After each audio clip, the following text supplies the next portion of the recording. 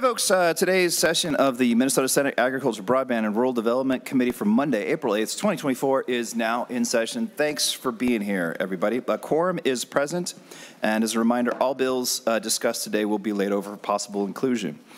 Uh, our first order of business is Senate File 5125, Senator Kunesh, uh, eligibility modification for sustainable agriculture demonstration grant. Senator Kunesh, if you would, please.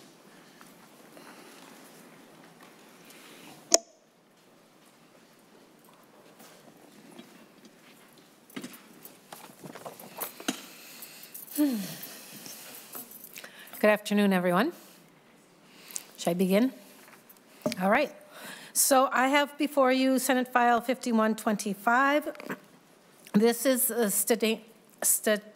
Sustainable Agriculture Demonstration Grant Program SustAg, and it has been around since 1989. It was established to help farmers, nonprofits, and agriculture researchers and educators explore ways to enhance the sustainability of a wide range of farming systems.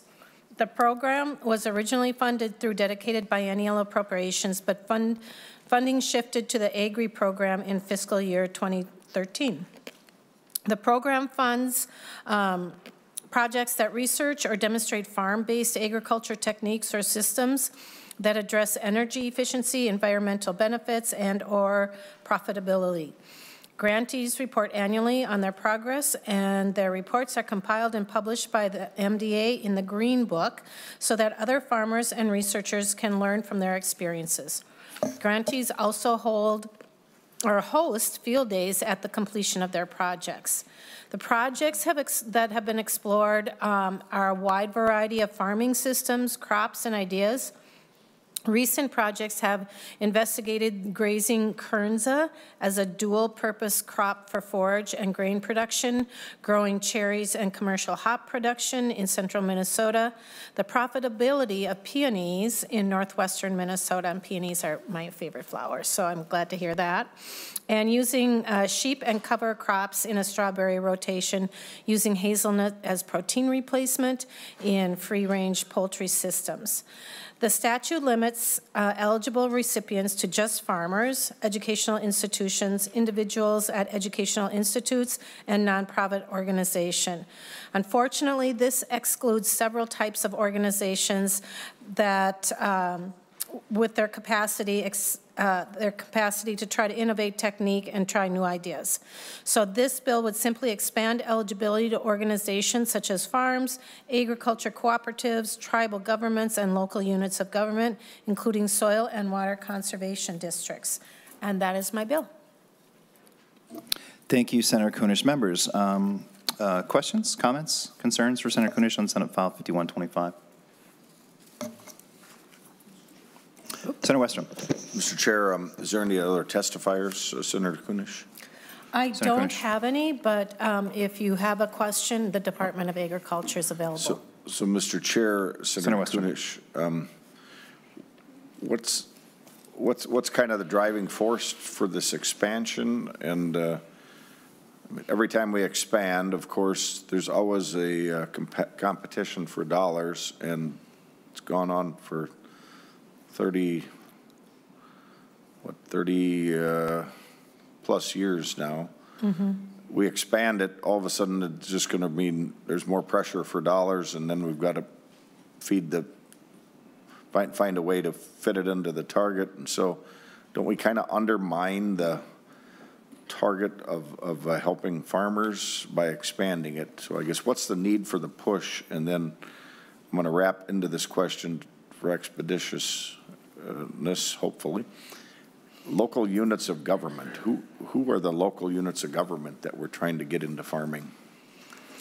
Senator Kunesh? Sure. So um, because it has been limited to educational institutions um, and individuals at those educational institutions and nonprofit, um, this bill, we are trying to open it up to farms so that they can try some of these new ideas. Um, some of the egg cooperatives, of course, they didn't exist back in uh, when this was initially created. And uh, as you talk about uh, local units of government, I would imagine that there are some townships or municipalities that might have an opportunity or a creative idea within their, their boundaries that they would like to give it a, a go. Senator Kunesh, if you think it would be beneficial, we could ask one of our good friends at the Department of Agriculture if they have an opinion or, or further detail that they'd like to offer. Sure, that'd be lovely. If you would please state your full name for the record and then commence your testimony when you're ready.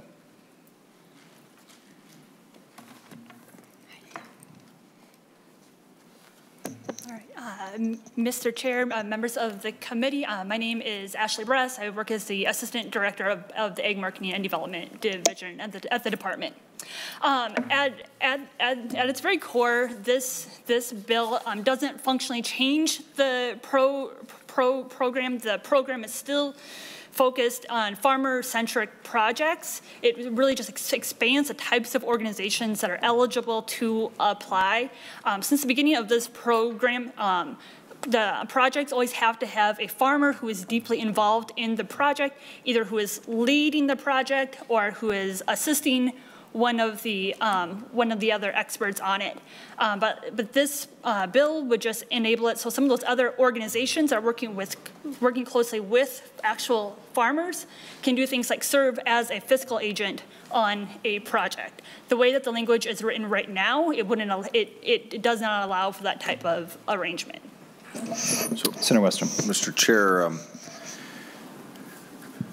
so is there a report reporting uh, provision that, that happens with these grants, and so other farmers uh, receive the same information that says, oh, if you uh, grow cherries on top of your picket fence, they grow better, and so this is more sustainable, and and how do, how do we spread that information around currently, and what would be required of somebody receiving these grants? So or, or are the grants just to subsidize somebody growing this or raising this kind of livestock and, and, and not benefiting with research and information back? Ms. Bress. All right, uh, Mr. Chair, Senator Westrom, uh, one, one of the major focuses of this program is, you know, is uh, these farmers, these organizations sharing what they found with other farmers. You know, one of the things that we know is that farmers are some of the best innovators out there.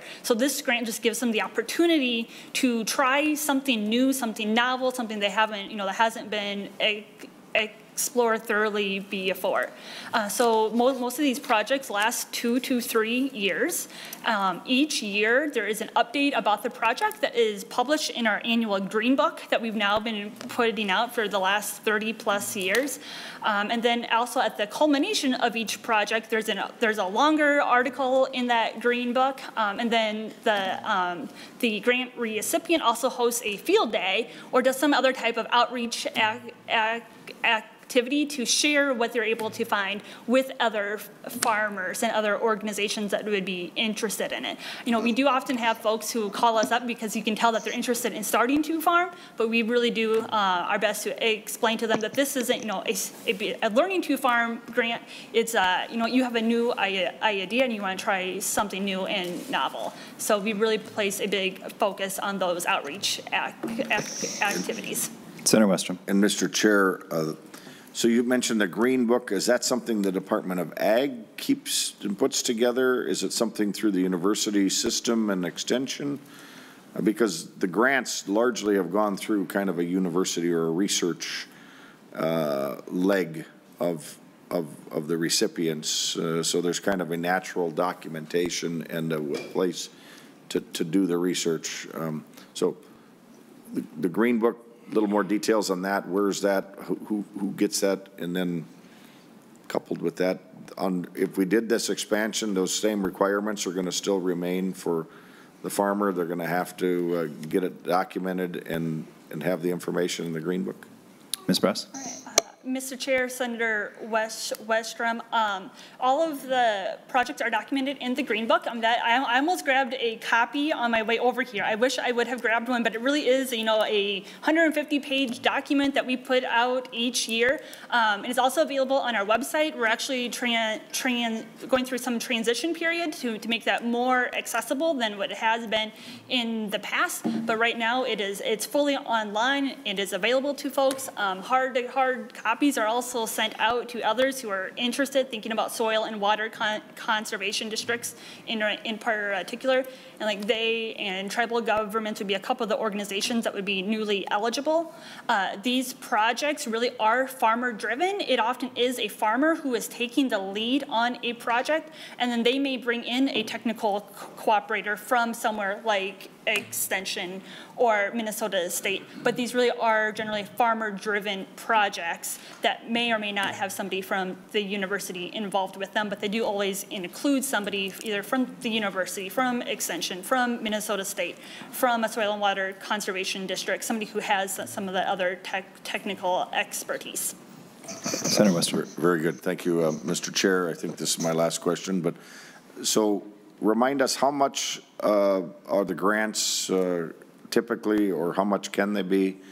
And then do the same recipients uh, get them year after year for same or similar projects? Ms. Bress, please. Uh, Mr. Chair, Senator Westrom, uh, each each year these grants are funded out of the Ag program. We're generally, in, it comes out of some of the unearmarked funds. Uh, we're generally looking at somewhere between between $250,000 and $350,000 per year that is made available. Most years we're doing somewhere between eight and 12 projects. It just kind of depends upon you know what what the applications look like in that particular round organizations or the grant um, applicants can request up to $25,000 that is not matched, and then uh, they can request an additional $25,000 for a maximum award of $50,000, but, but according to the statute, that second $25,000 has to be matched dollar for a dollar. Senator Westrom. Mr. Chair, just the part about are, are the recipients the same year after year typically or sometimes, or does it have to be a completely new project? Essentially, can they use the money to raise the same crop or the same livestock or the same project they, they worked on the, the prior year or two? Ms. Bress? Yeah. Mr. Chair, Senator Westrom, my apologies for missing that part of the question. Um, these uh, organizations or entities, farmers could receive a grant in multiple years, but more often than not, that is absolutely not the, the case. Um, you know, far, farmers will work on, on their one grant over that two, two to three year period, and they would certainly be eligible to apply again, but this isn't one that we see folks coming back for year af, af, after year. Members, any other questions or comments for Senator Kunesh or a testifier? Senator Anderson. Thank you, Mr. Chair. Um, it says in uh, line 1.7, made to farmers, and then uh, on line 1.8 it says farms. So if farmer Jim Jones applies for a grant and he decides that because of the way things going, it's for a sp specific crop that he's going to raise, but his son, who uh, has decided to uh, incorporate with his brothers, say John Jones, uh, into the Jones Farms. Could they then uh, apply for a grant too? So Jim Jones, even though he's part of the corporation, uh, but he's going to do for a certain cro crop, mentioned Kernza, or and the Jones decide they're going to go for uh, some new crop called, well, you name the, the crop, flax or whatever. Um, could, th could they both get uh, grants for their projects? Ms. Bress. Uh, Mr. Chair, Senator Anderson, um, then the type of setup you're um, that I, I think you're going towards both entities would be eligible, both Mr. Jones as well as like Jones Family Farms, per, per, perhaps, that, except under the current language, Jones Family Farms would not be eligible for this program the way that the language is written. The way that the language is written or, or was written, um, was, but Mr., only Mr. Jones would be eligible as a farm, but Jones Family Farm would, would be, would, would become newly eligible through this uh, language change. So, Mr. Senator Chair, so farmer Jim Jones would not qualify, but his, the Jones Farm Incorporated would qualify? Senator, uh, Ms. Bress? Uh, Miss, Miss, Mr. Chair, Senator Anderson, uh, it's actually the opposite there. Um, under current language of the, the, the way that the statute is currently written, Mr. Jones is eligible as a farmer, but Jones Farm Incorporated is not currently eligible uh, as a farm. Uh, so this proposed language would make Jones Family, or Jones Family Farm Incorporated eligible. So, Mr. Chair. Senator Anderson. So if, if uh, Mr. Jim Jones, who is a separate farmer, but become, because his sons decide to incorporate, then he could be eligible under the, the Jones family farm uh, and, and get some of that money to utilize for his project. Ms. Bress? Mr. Chair, Senator Anderson, uh, yes, I think you have that cor cor correct. One thing just, just to keep in mind that these grants are not intended to be like just general grants to start up farming, uh, but they really are intended to, um, to try something brand new. Um, so, you know, in this case, both, I mean, if if Mr. Jones wanted to be involved with project, uh, with multiple projects, those two projects would have to be trying, like, would have to have two completely different projects with like different problem statements, wanting to try completely different things. Senator Anderson? Thank you, Mr. Chair. Members, any other questions or comments for Senator Kunesh or her testifier? Seeing none, uh, Senate File 5125 will be laid over for possible inclusion.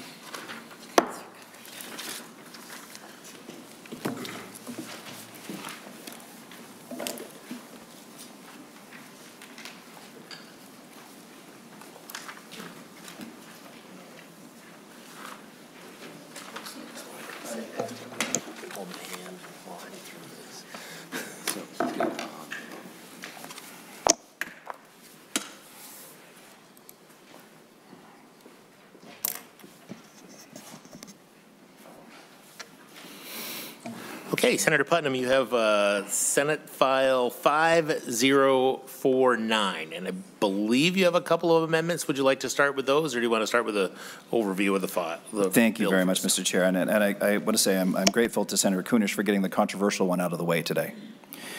Um, at least Tory laughed a little bit. Um, uh, yes, uh, Senator Kunesh, if we could please, let's deal with the amendments. I'd like to move the A2 amendment, please. Okay, uh, Senator Putnam moves the A2 amendment, and we should all have that? Correct? Yes. Members, the amendments that we have before us, I will soon be offering the A4 amendment in a moment as well. These two uh, amendments are basically just clarifying and uh, getting things in the proper order. Both amendments are, but uh, we'll deal with the A2 amendment uh, initially. Okay, uh, any discussion on the A2 amendment? Seeing none, all, oh, yeah, Senator Westrom? Mr. Chair, um, this, the language, getting it in the shape you, you want it, uh, Chair Putnam? Uh, yeah, Yeah, go ahead, Chair. Uh, Yes, thank you for that question, Senator Westrom. The- The the, uh, First Amendment is on the language, and the Second Amendment is on the date uh, exclusively. So these are simply clarifying endeavors. And I think I've got it right here, second, Mr. Chair, uh, Chair Putnam, I think you've got in the A2, it's um, deleting Section 8, which ties to Senator Kunesh's bill. Is that correct? Senator Putnam? I believe so. Ms. Painter, if you wouldn't mind, could you? Ms. Painter? Mr. Chair, members, Section 8 is a cannabis bill from Senator Port. Um, We didn't want to keep that in this bill. Um, And so, Mr. Chair, and uh, we can talk about it more, but I- I thought that was part of what we were going to work on fixing in this committee. And so I was just wondering why we're taking it out in the A2 amendment. Senator Putnam? Thank you, Senator Westrom. That is still, as I understand it, the ambition. Um, But it's a question of what language is in the actual cannabis bill as well. Uh, So this is something that is still, I think, being sorted out and ironed out. That's my understanding, at least, Senator Westrom. Senator Westrom? Any other discussion? If not, okay, and Senator Putnam, you also need to move the A4. I can move them, both. uh, I move the A4 amendment as well, then if I may, please. Mr. Chair, I think we have to vote on the A2 first. That's what I thought. Do we so. not? All right, the A4 is an amendment to the A2, Oh, I see. so we'll need to move the A4 first. Then I move the A4 amendment, please, Mr. Chair. Okay. Any discussion on the A4 amendment? Seeing none, all those in favor of the A4 signify by saying aye. Aye. Any opposed? A4 amendment is adopted to the A2 amendment. Now uh, to the A2 amendment. Uh, Any more discussion or anybody, all those in favor? As amended, yes, thank you. Uh, Any more discussion? If not, uh, all those in favor of the A2 amendment as amended signify by saying aye. Any opposed? The A2 as amended is adopted. Senator Putnam to the bill. Thank you very much, Mr. Chair, and thank you to Senator Westrom for pointing out that, uh, uh, reminding us all that it was a week or two ago, uh, this issue of the language around what an, uh, uh, emerging or beginning or um, a uh, limited access farmer would be is something that we started to talk about when we were talking about it in the context of the cannabis bill, and I promised you that we would have a day to sort this out, and today is that day. Today is our day to engage with the complexity uh, and the difficulty of uh, this complicated issue. Uh, on its base, this bill alters the language in the down payment assistance program to focus work on the condition rather than through the use of a protected class. Germane changes are present in lines 2.8 to 2.14. Uh, in this language, we articulate the characteristics of a limited access farmer as one who has limited access to land or limited access to a market. Now, members, um, I'm going to with you, I'm going to nerd out on this one a little bit because this is within the field of my scholarly expertise. Uh, many of you may know that I have a PhD in rhetoric, which means I am literally a doctor of argument, which is the nerdiest thing in the history of the world. But the kinds of arguments that I study are those arguments in American history that have expanded or restricted the scope of what it means to be a full American. That's what I study the past 400 years of arguments about what it means to participate in American democracy. Um, and that perspective, I think, is incredibly useful as we struggle with this larger issue right now. Uh, and I think it's with this background that we can have a better discussion if we're clear on some theoretical and some historical truths. The first of which, uh, on the theory front, is that even though we think government is objective and our rights are radically individual, it isn't and they aren't, never has been. Government makes rules based on identity categories and group membership. That's just what it does theoretically. And the most obvious example of this is the individual rights that we enjoy and the privileges that we enjoy are a function of our membership in the class of citizen or non-citizen, or 18-year-old versus 21-year-old. Government makes distinctions about populations all the time. That's what it does. So oftentimes when we hear programs like this, we hear, well, shouldn't we treat everyone equally? Uh, we never have treated everyone equally. Um, that's just not a thing that happens in governance. It's not a thing that government can do. Because even though our rights are part of our individual possession, they are only real as we are parts of groups or categories of people. Um, now, we have uh, made all kinds of rules given to specific populations throughout U.S. history. I'd like to draw your attention specifically to the Freedmen's Bureau which between 1864 and 1866 was advocated for by what we call radical Republicans at the time. And this was the creation of an entire agency to provide resources, education, actual money, and land for people who had been enslaved.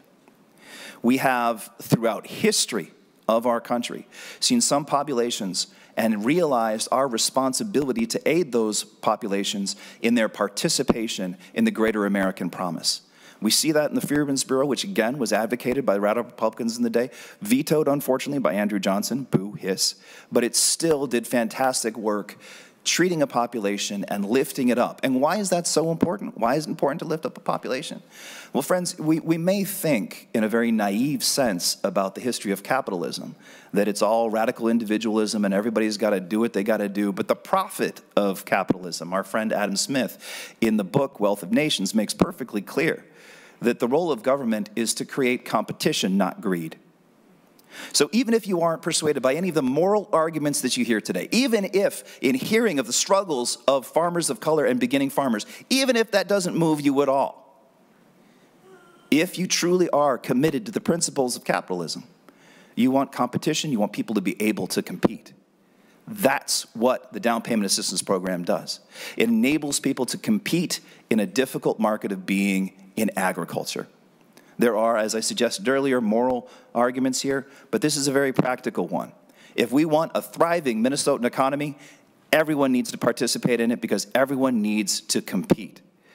What we're talking about today is consistent with American theory, with American history, with American practice, and with today's deep and powerful contemporary need, which is something that I don't feel fully comp, uh, competent to discuss right now which is why I'm so incredibly grateful that we have testifiers here who can tell you about what it's like to be a struggling farmer in the state of Minnesota right now, who wants to compete, who wants to grow their business and live the lifestyle of a farmer.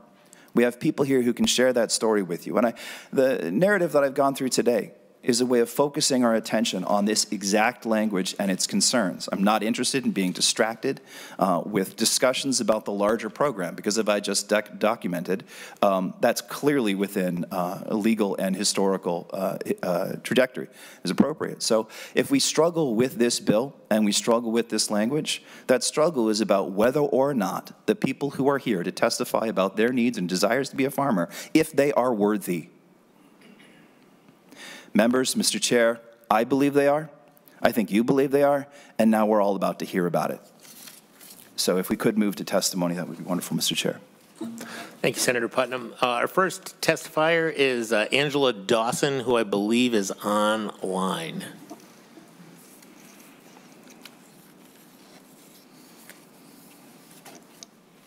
I am. Hey, oh, great.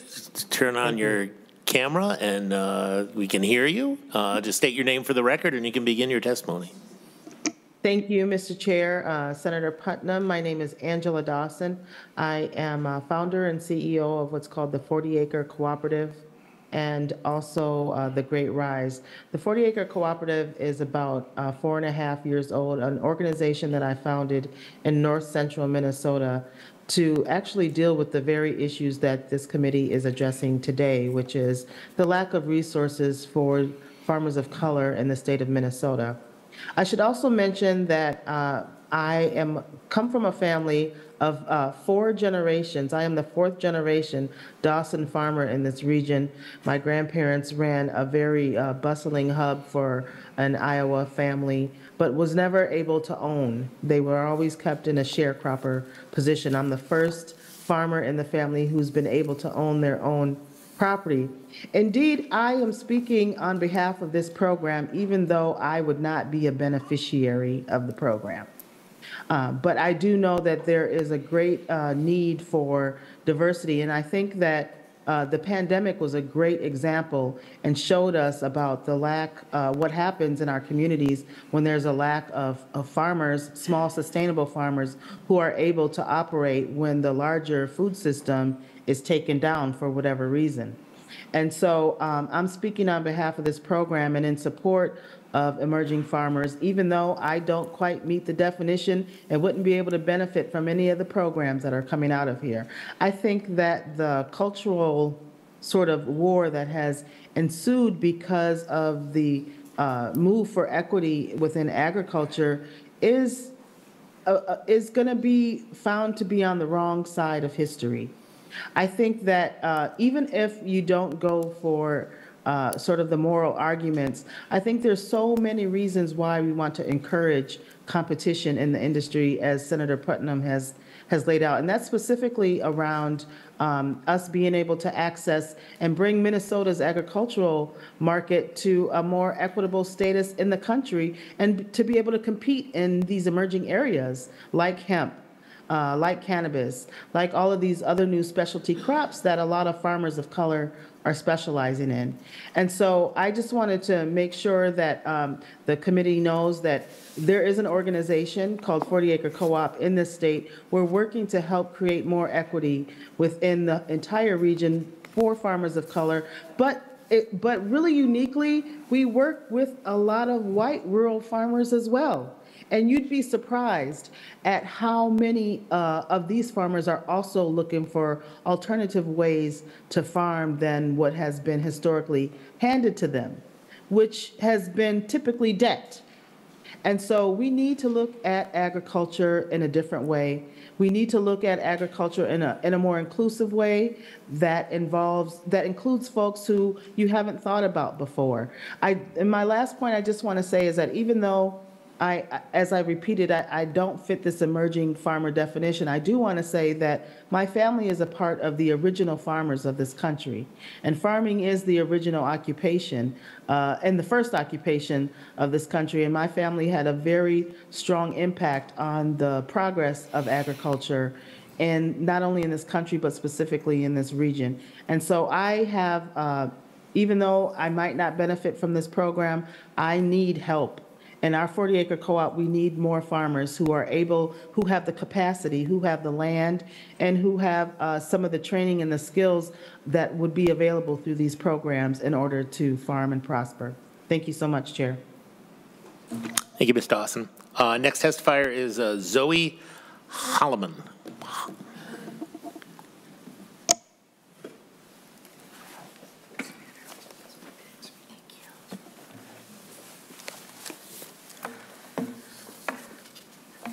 Thank you. Thank you. You just say, state your name for the record, and you can begin your testimony. My name is Zoe Hollomon. Um, first, I'd like to thank the committee, Chair Putnam, and um, the other members of the committee, especially to those who listen to the needs of marginalized, um, and in particular, farmers of color. My name is Zoe Hollomon. I am a farmer of color in Annandale, Minnesota, um, at Root Springs Farm and Retreat Co-op in Wright County. I am also the executive director of the Midwest Farmers of Color Collective, um, organizing with over 130 urban, rural, and suburban farmers and allied organizations in Minnesota and surrounding states. We work for racial equity in our food and farming systems. We host social gatherings and educational events, um, policy education. We gather priorities from farmers of color in the state and in the region. And we work with um, many allies to advocate for a more fair, equal, and uh, sustainable food system and for food sovereignty. And I'm heartened to see many of our friends and allies here today. I would first like to start off by saying that the reason that we're here today, um, renegotiating verbiage for emerging farmer, um, which includes farmers of color, LGBTQ farmers, veteran farmers, women farmers, and farmers with disability. In our policies is due to lawsuits by political legal entities and a local farmer who has access to land and economic resources that those of us who fall into these other categories, like emerging farmers, BIPOC farmers, under-resourced farmers, do not. Um, and so we want, they want to remove our ability to make reparative efforts to communities who have been discriminated against. And this is very saddening and discouraging um, to myself and the farmers that are part of our network. We work with farmers who are indigenous, whose land we are all on right now, land that was stolen through violence and white supremacist policies. Um, we work with farmers who are descendants of enslaved Africans, whose labor built the great wealth of this country's foundation. Um, African American farmers have been discriminated against by the USDA, as cited in cases like Pigford versus Glickman lawsuit, among others. Um, we work with farmers who are um, immigrants of color, um, who have been discriminated against and exploited, um, Hmong farmers and other Asian um, Pacific Island farmers, Latinx farmers and farm workers, um, many of whom pick the food that we all eat. various African farmers, Kenyan, Somali, Nigerian, Sudanese, who have received in this country um, who've received discrimination just in trying to get like the same rights and benefits afforded to many European uh, descended American citizens. Um, we saw through the American Recovery Act, um, which was passed by Congress in 2021, um, which affirmed that the majority of our federal leaders in Congress believe that some reparative measures should be taken to help address the historic and current day disparities in land and resources in farming for marginalized farmers. And there should be no question that there are significant racial and social equity disparities cited by our nation's agricultural census, National Young Farmers Coalition's national survey, many state and county agency reports on economic and health statistics, and research from our own emerging farmer reports. This data shows that state-funded programs have not been equally accessed, and we should make provisions in programs to help level the playing field in food and agriculture. But what is not clear I believe, but what is not clear is that while under-resourced farmers were discriminated against, many European descended farmers were elevated in their advantages and privileges in accessing land, credit, capital, markets, technical assistance, and other agricultural programs that enabled them to accumulate generational wealth in their families and businesses.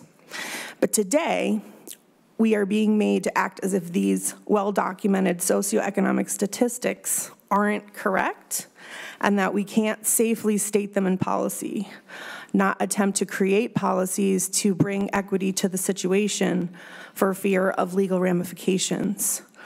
Um, that feels wrong.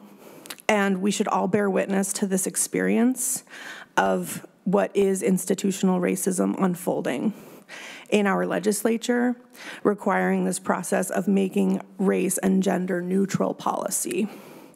That said, we need to support ways for under-resourced farmers to have a fair shot at starting and building their farm businesses and not losing these opportunities that we have fought so hard for.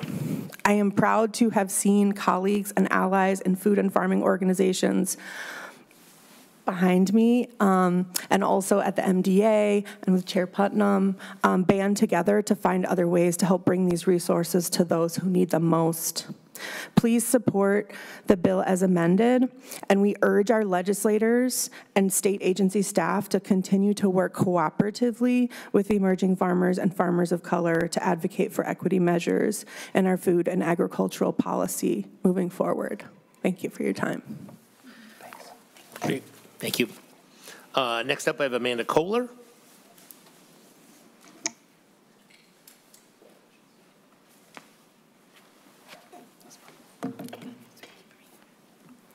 And you can just state your name and you can begin your testimony. Thank you, Mr. Chair and members. Thank you for having me today. My name is Amanda Kohler, and I am the Policy Manager for the Land Stewardship Project.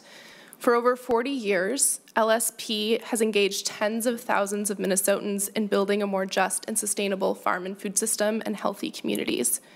Decade after decade, our 4,500 members and nearly 60,000 supporters, the vast majority of whom are white farmers and rural folks, have stood up to say that we must address the historic and ongoing racism within our farm and food system. Last session, we celebrated that our legislature took an important step towards not only recognizing the importance of emerging farmers, but reckoning, taking a step towards reckoning with our state and country's history of generations of disenfranchisement of historically underserved populations, particularly farmers who are black, indigenous, and people of color. Our farm and food system is more resilient and just when we have a more diversified farming population and more people on the land but now we're here, forced to take a step backwards. We should not be in the position of having to choose between the future of these programs and the prioritization of emerging farmers within them. But because we are in this position, we have been working alongside our allies, um, who Zoe mentioned are also behind me now, um, and, and others to ensure legislative changes work for emerging farmers. LSP supports um, the bill as amended and also believes that those most impacted by public policy um, should be deeply engaged in its development. As the disability justice movement says, quote, nothing about us without us. So we want to thank MDA and Chair Putnam's office for collaborating with our organizations and workshopping this language that we all feel comfortable moving forward with. And now I'm going to put my personal hat on for a moment. I'm an aspiring farmer. My husband and I just finished LSP's Farm Beginnings class, um, and we're piloting a very tiny egg business off of our property in St. Paul, just about a mile north of here, um, until we can expand on more acreage outside of the metro. We both grew up in upper middle class families. We both own our own home, we, well, we own our own home together, and, uh, and have two vehicles. I have a master's degree and no student debt. We aren't even close to having the capital that we need to start farming. We live paycheck to paycheck for several greater economic reasons. But we have our upper middle class parents that will probably be able to ask them for help with a down payment. The down payment assistance program isn't for us.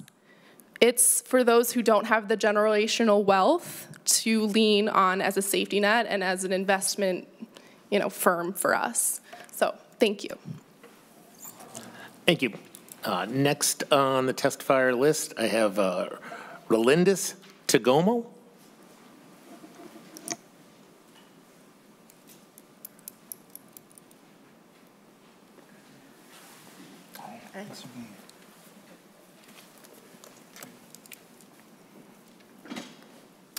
Good afternoon, Mr. Chair. Good afternoon. Good afternoon. You can just state your name and then you can begin your testimony. My name is Relendez Tegomo, and uh, I come from Roseville. Um, when I open my mouth, you already know she's a re recent comer because the accent from my motherland is still there. When I arrived in Minnesota, it was cold in May, and I asked my husband, because I joined him here, why would you choose Minnesota of all places? It was cold that May. But like my, I would say, just like my kids say these days, Minnesota is home. When my family, they don't visit here, after July, they don't come here. And they ask me, why don't you move? I said, that's because this is home. I'm a Minnesotan. Uh, I might have just come lately, but I'm truly a Minnesotan. My first tomato was planted in my backyard on a little raised bed on 1721 Randolph Avenue. Hmm. It was given to us by our friend Chris Berghaus. And I grew up growing crops with my mother in Cameroon. And when I was coming here, my first fear was I was not going to be able to find the food that I was used to eating. And, and that was true. When I got here, there was no jama jama, there was no uh, greens, there was sweet potato leaves was hard to find in the stores. So I came with two little boys in tow, and I was confused. Uh, I intentionally picked my first house with a backyard so that I could grow my greens. Since 97, I have been growing in my backyard on 645 Terrace Drive. And I have been gainfully employed and a taxpayer since I came to this country. I'm driven to success. I came here, started as a teacher, then wasn't finding fulfillment because, not because the kids were not great, everybody was great, and they were very helpful. But it was because the culture was so different. Uh, we had come here not out of choice, we are refugees to start off with. My husband had to leave home, and I joined him. It was hard for us. But when I touched the soil, I knew I was home, so I have stayed. I started growing those greens and I have fed them. And then I opened my first business just braiding hair. I have had that business for over 20 years, and then the pandemic hit. And for the first time in my life, I couldn't bring a paycheck home. It was a horrible feeling to be on unemployment. I've never, never depended on anybody for a paycheck. I have worked since I was a child, and then I had to, even though I've always paid taxes, but I found myself taking. Then I said, here I am, I can grow food. That's something that was nature to me. I was growing food, feeding my neighbors. They harvested from my garden. I compost. They brought their home waste to my backyard, and in exchange, they harvested. And then I said, I can make money doing this. And I decided how, how I was going to get about doing this. Thanks to programs like the Emerging Farmers Program, I attended the conference last year, got a lot of resources. I registered there. They've been teaching. I've already had the first training class on how to uh, take care of a BCS, how to take care of a tractor's equipment that I didn't grow up using to farm, but which I know if I have to have a successful business here, I have to know how to operate these equipments. I have learned that. I have taken class um, through the um, Central Lakes Community College on how to run a successful business, farm business, that with a scholarship of 100 and $1,900. And all these programs are programs that you our lawmakers have made available to us, beginning farmers. This is, these are programs that we are benefiting from. We are, we are in a new place and we want to contribute to this, our community. We want to be competitive and make money. We don't just want to farm. Yeah, I've been farming to feed family, but now I want to make money. I want to be successful and I have to learn. I, we all make mistakes, but we don't need to make the mistakes where, which other people have made and which we can gain from their knowledge. I have farmers like Laura from Loon Organics helping me to mentor me on how to be a successful farmer here with the challenging weather and things like that. So my ask is please do not cut some of these programs help us to be successful as you guys have been doing. And also, uh, we want to be able to sell our products to you. We farm good food, and we hope that you guys enjoy them. And we'll introduce some of our crops that we have grown up eating to our community here. This is our home. Our kids are from here. So they have to go to the market and see that these are the crops that we also farm. So please, I'm just asking that you guys help us be as successful as our community, which is you. Thank you. Thank you. Thank you. Uh, next uh, will be online. Uh, we have uh, Lily Emboss.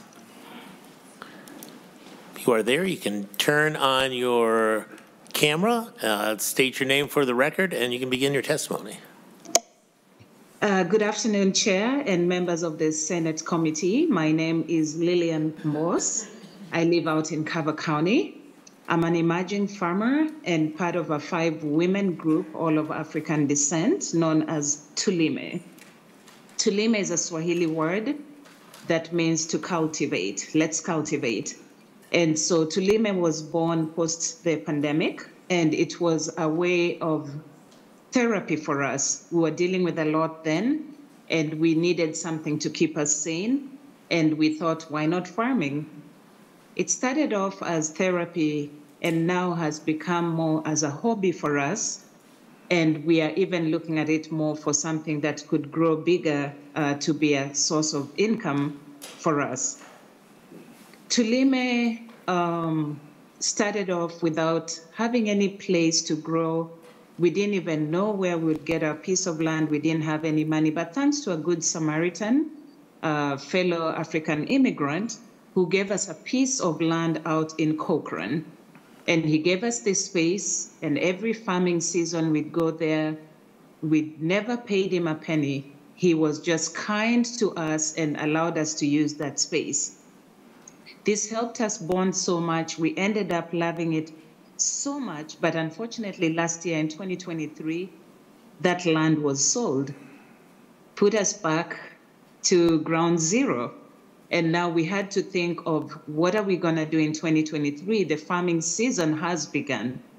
At that time, in tireless efforts, we were able to get public space out in St. Paul and started farming, you know, a bit late, but we got a few beds there, and at least we continued doing what we love doing the most. Well, as it goes, public space, public for everybody. The one thing we never thought about was we are going to plant all this food, and at the time of harvest, It was everybody's harvest. So to say the least, one time we went to harvest and most of the produce was gone. But we just had to smile about it, remembering farmers are kind people, they love each other and they share. But that was a learning, that was an opportunity. And so with that, we are here where we are looking for land and thinking about this bill, a bill that would potentially jeopardize farmers like us.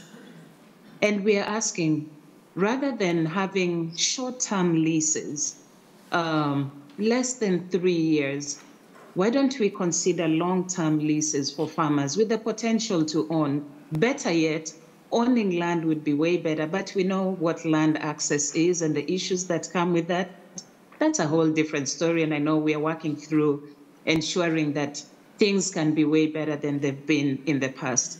But the main goal here is to allow security for farmers who work really, really, really hard, and um, just giving them that opportunity to feel that they have this um, potential to have financial stability and security in knowing that they have this long-term lease as opposed to the short-term leases, these opportunities to be able to own their own land and be able to grow their dreams to levels beyond anything that we've all imagined.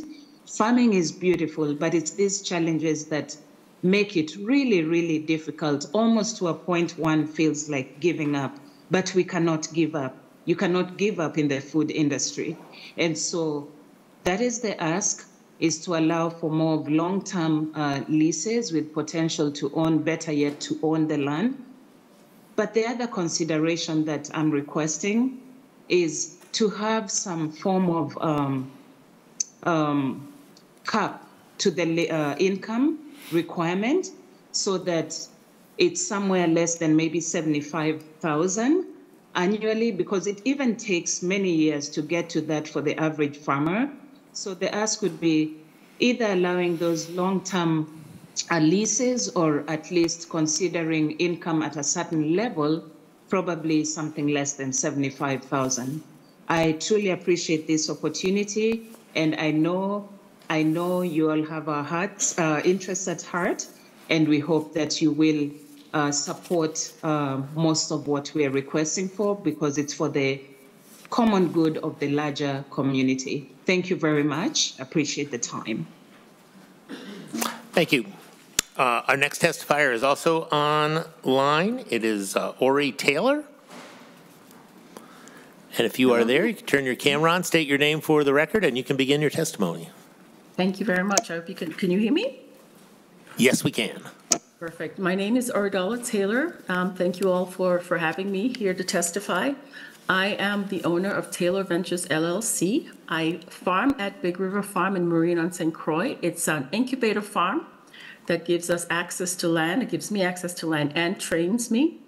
My background is in science and engineering, and I got into farming because I was interested in applying scientific principles of, and engineering principles to achieving nutrient density in food. Um, in fact, I'm actually one of the recipients of the Agri Sustain grants that was mentioned. I'm currently executing this. Um, so um, farming is not my full-time job. Obviously, doesn't pay the bills. I'm a single mom of three boys. Um, my first year farming at Big River, I grossed $4,000 and just um, learning, getting the experience. But I also had a lot of waste because I didn't have access to markets. Um, and so I, thinking inno innovatively, um, I organized, um, helped organize a group of farmers. We're currently at 10 we have, some of us have a quarter acre of land, some of us, like me, I have about a, an acre of land. So we needed access to markets and we needed flexibility um, because we can't full-time chase markets or farmers markets or uh, co-ops and things like that. So we were able to really um, benefit from the farm to school program. We um, aggregated and, and sold to Minneapolis Public Schools and, and several other school districts through the Farm to School program, which is a, a, a program I, we, we are very appreciative of.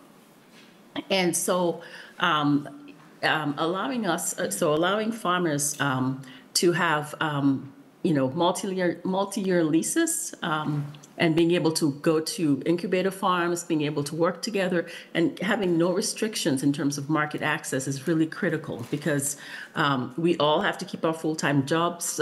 so um, we we need to have some flexibility in how we go after markets and, and how we farm. So as I mentioned, my first year my gross sales was 4,000, but because we worked together as farmers and we aggregated, we were able to, I was able to reach 17,000 gross sales last year. Lots of, lots of expenses, and I'll explain that in a minute. But again, allowing this direct and indirect access to markets without limitation was critical for me going from 4,000 to 17,000 in gross sales um, last year. Um, so as I also mentioned, the AgriSustain grant and working on nutrient density in food. Um, the key to nutrient dense food, which we're learning, uh, getting away from chemical fertilizer. By the way, Big River Farm is a is a organic certified farm, so I use organic and regenerative practices.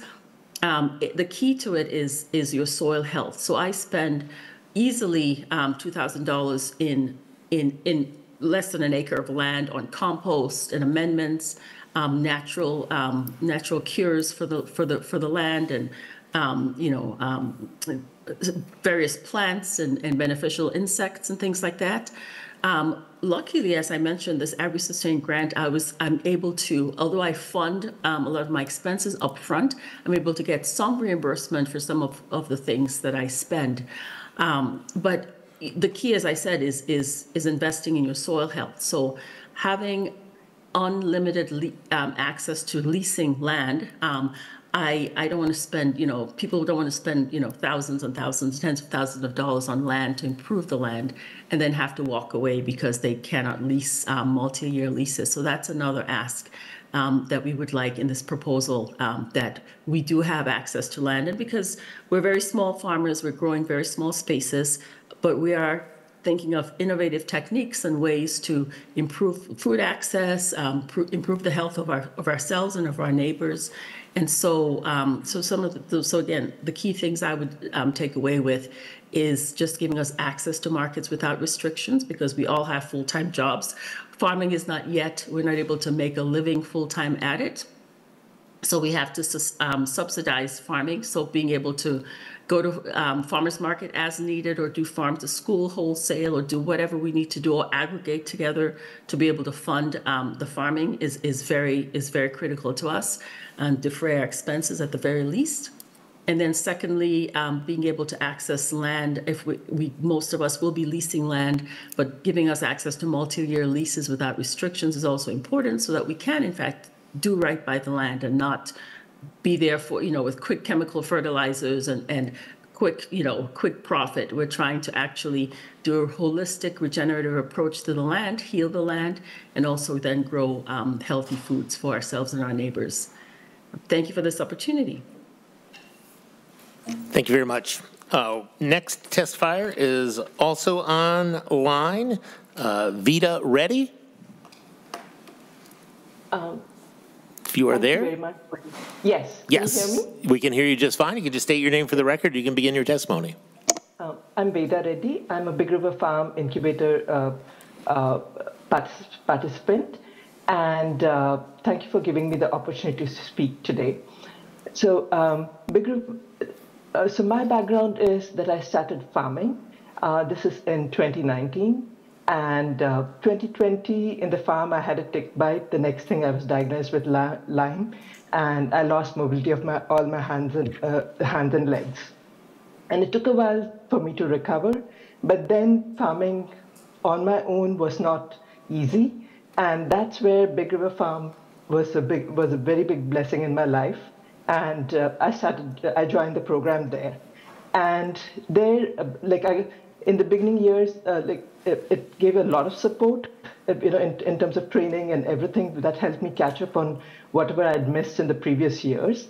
And the most important thing was that that uh, we got was, you know, having the confidence that the land would be available again for them in the subsequent year, and then also the access to indirect markets, because direct markets require direct markets as well as CSA requires a very consistent production as well as uh, you know expense uh, infrastructure expense like having a cargo van and all of that.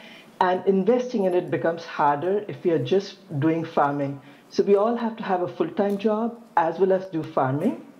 And you know so uh, but then it takes a while to build up the income in farming where we can quit our daytime jobs. So at this point of time access to long leases is important and also to uh, the indirect markets because farm to school gave us a lot of confidence like you know the mistakes that can cost us a whole market you know it's easier to cover in indirect market because uh, like Ori said earlier 10 of us got together and uh, we were able to cover for each other when we had crop losses so so it's very important uh, to have that so when we are defining emerging farmer you know, can we just do it at the income level? Because, you know, in every other occupation, when a beginner joins, there are about 10 to 20 challenges, but in farming, it's about 80 to 100 challenges.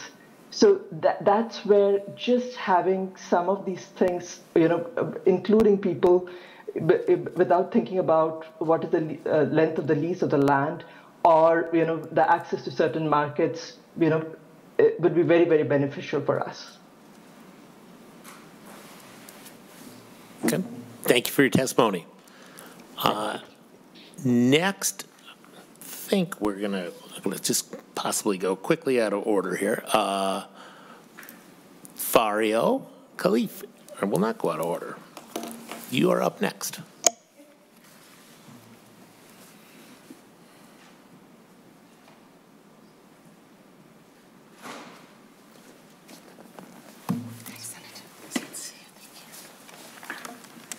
And you can state your name for the record and begin your testimony. Thank you, uh, Mr. Chair and members. My name is Farhia Khalif. I am the director of SAFI, Somali American Farmers Institute, and I'm here to, um, to testify at Senate file number 5049.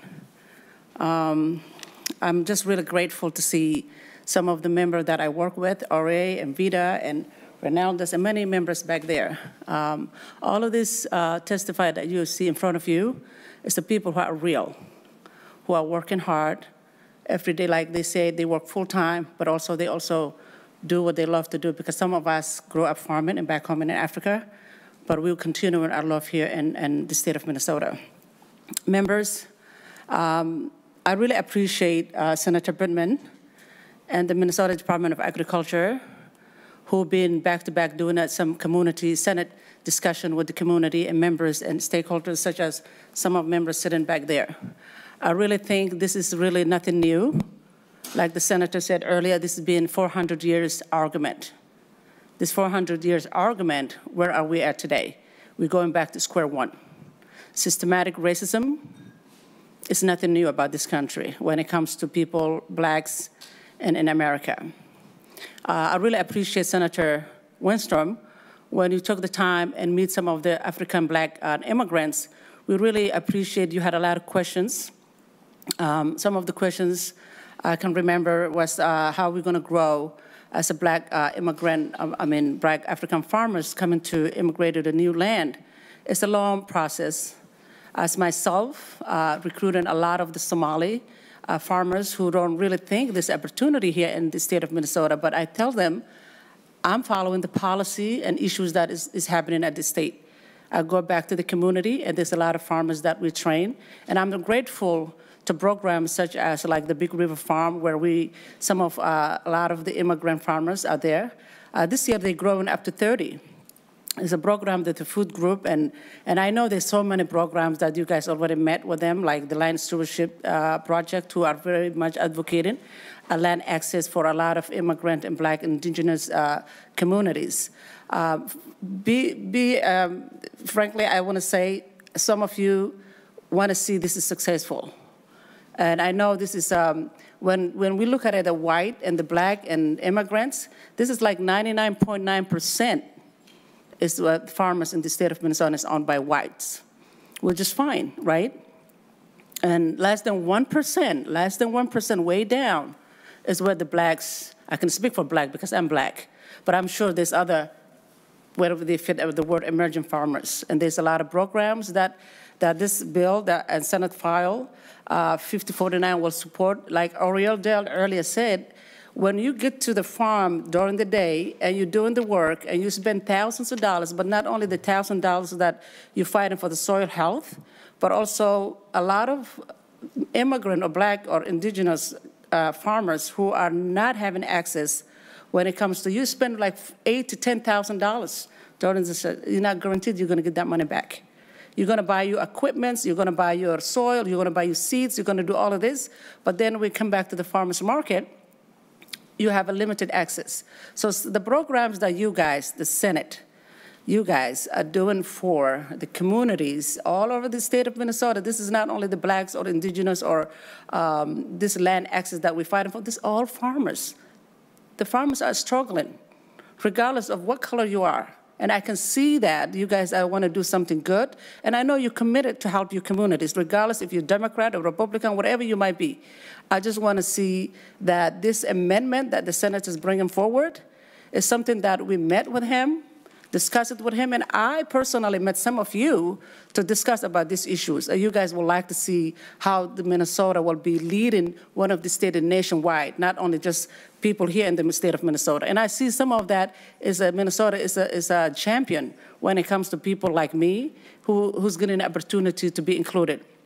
So I will say, Senator Pittman, take the opportunity this year to come places like the Big River Farm or other places where a lot of incubators are doing this land access opportunity that people don't have. But also, this will give you the opportunity to see what it looks like if you limit and say, we're only going to do three years. People are spending so much money, thousands of dollars to, to quarter acre one acre, what this access might be. Why you limit them? Let them continue to doing this pro progress for them to grow. One day they might want to do from here to, to be a landowner. So I will hope that you guys will consider and support this amendment. It's a long way to go. And I'm, I'm, I'm, I'm sure that you all wanted to do the best for the uh, farmers, all farmers, regardless of who might, you might be.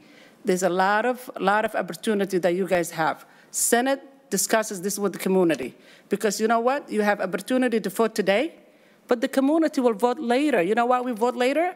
Because we all know that you care about the community. We're going to work with you, and this opportunity not for only blacks or, um, like I said, uh, native and other immigrants, but this is all including the white community. Like I said, we are less than 1%.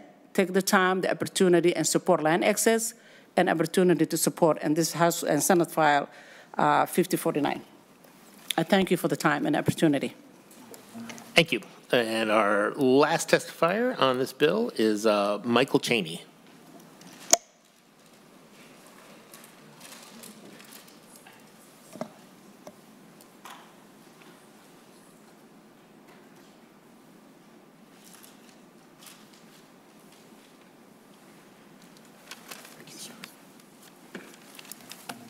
Day, everyone.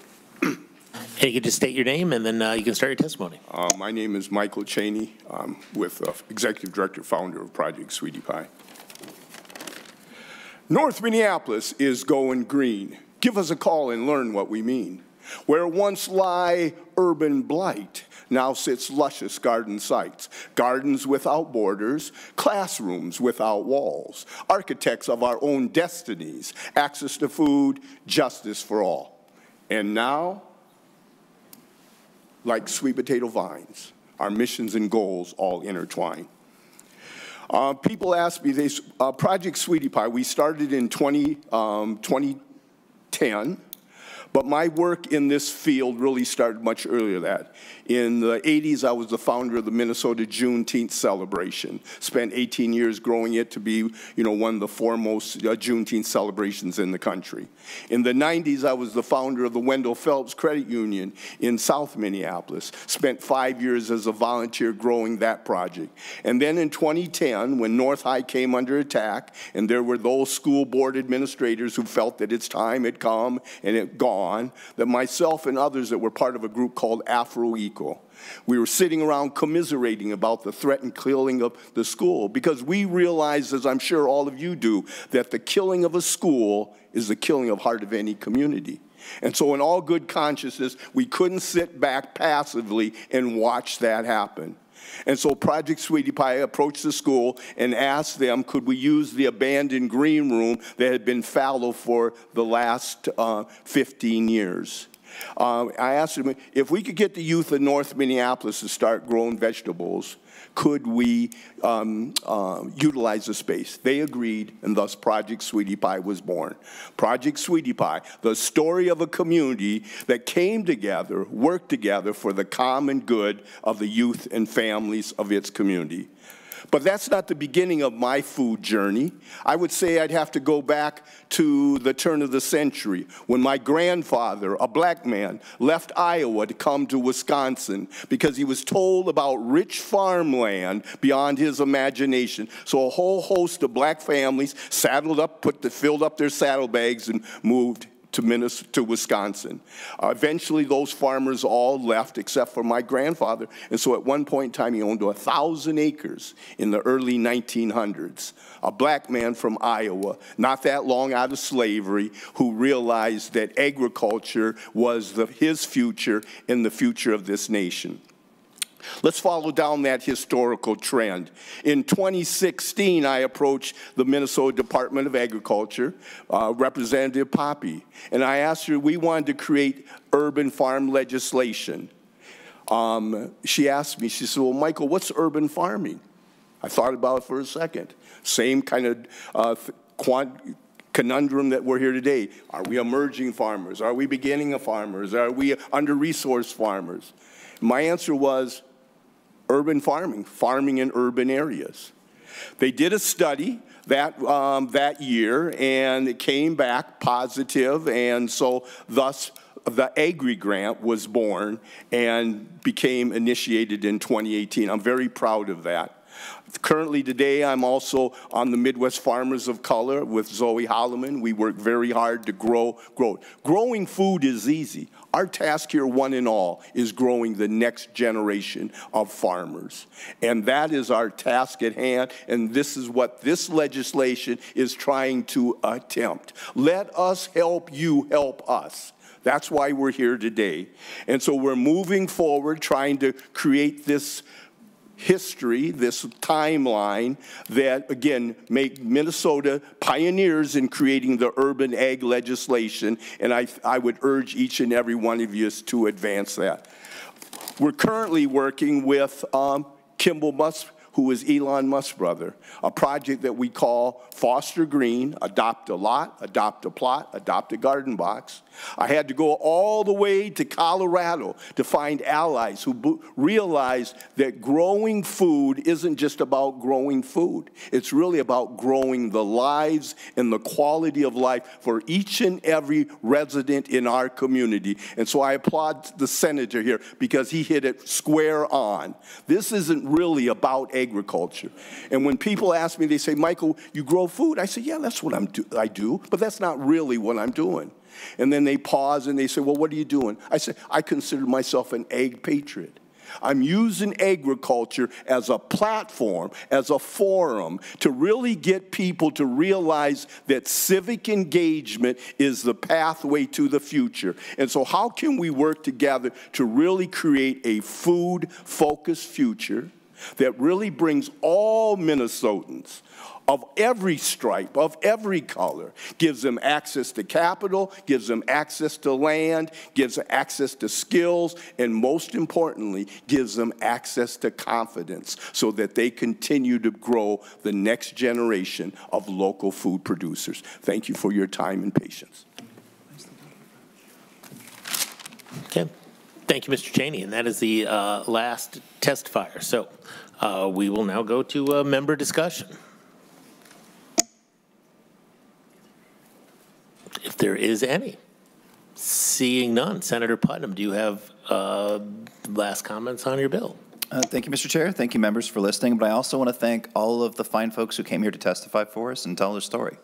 Uh, what we got was, I think, a comprehensive understanding of some of the struggles and some of the challenges that Minnesotans face in their entry point into agriculture. And I want to take another moment to thank my friend, uh, Mr. Chaney, for his closing statements about how agriculture is about more than food. It's clearly about food, but it's about the humans who eat it and the humans who grow it and their quest for their own human dignity to be respected and valued.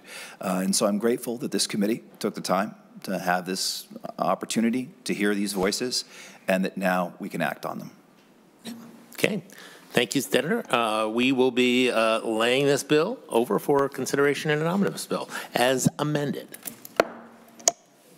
Okay, next uh, on the docket is also Senator Putnam, Senate File 5308. Go ahead, Senator Putnam. Thank you, Mr. Chair. Uh, Senate File um, 5308 deals with wild rice. Um, members, uh, it's as big a part of our identity and our economy as is Prince. And I know that's a controversial statement, but let's start there. Um, and the thing with wild rice in Minnesota is that we have two economies and two cultures around its production. On the one hand, we have our friends who are wild rice cultivators who grow and market wild rice using flooded paddies and specific seeds and harvesting practices. And on the other, we have tribal communities who employ traditional practices on natural stands and for whom wild rice has a profound cultural and spiritual significance. Now, in 2015, I believe, a program was created for wild rice research at the University of Minnesota. The Kimball Lab was set up to conduct research on how to conserve and propagate favorable characteristics in wild rice. Now, since then, the status of this research at the U has been a source of tremendous controversy and tension. Members, I'm sure every one of us in this room knows just how controversial, how difficult, how emotionally pregnant this issue is that we're dealing with today. Uh, and it's not just about the issue, it's about relationships between the stakeholders, between the tribes, the cultivators, and the U and the Department of Agriculture, and an effort for all of us to get along. From my perspective, this controversy and part of its intensity comes from three different variables. It's about the disposition of resources, it's about symbolism, and it's about trust between organizations and communities. Now, last session, you may recall, we kept this program uh, as it was. Uh, it's uh, $450,000 per year to uh, support the research into cultivated wild rice at the Kimball Lab. But we tweaked it a little bit and said, you know, you guys get together. You guys talk to each other and figure out what we're going to do, or we won't fund you the second year. So it's supposed to be a two-year program. Members, as you may recall, we funded it for the first year and said, you guys get together, figure it out, come back to us, and then we'll figure out what we're going to do for the subsequent year with that funding. Uh, uh, our pals at the Department of Agriculture hosted sessions and meetings where folks came together to talk through some of these issues. Uh, there was not a programmatic uh, resolution or uh, um, uh, sort of suggested course of action in the future as a result of those meetings, but their report was released a few months ago. But members, I want to focus on what we did, what we did in the Senate Ag Committee. We didn't just talk to the wild rice cultivators, we went to their farm We went to our farm. farm. We, we, we talked, we visited with them, we visited with uh, Tom and his sons, we, we watched geese with them. And we learned about the lifestyle and the commitments and the investments of our uh, friends who do, grow cultivated wild rice. We also met with the tribes and their representatives. We met Dean Buhr at the U several times. And I called and had a phone conversation, a Zoom conversation with Dr. Jenny Kimball, the academic who runs this lab. As a result of all of those conversations, we came up with what I think is a pretty sweet compromise. Uh, what we have right now uh, is what is before you now, which is uh, a change uh, in the disposition of these resources and in the language that uh, governs its, uh, their use. the first thing we did is we removed the word breeding from the language in the bill because that language is problematic. members, just imagine this. if you had a, a sibling or uh, uh, uh, someone you really, really cared about, um, someone uh, in whom you truly believed. And there was a program about breeding that entity. That word would be a problem. Given the, the frame of reference it's operating, that word is a really troubling, troubling word. We might not necessarily, all of us in this room, see that problem, but if you operate with that belief system, that's a huge problem.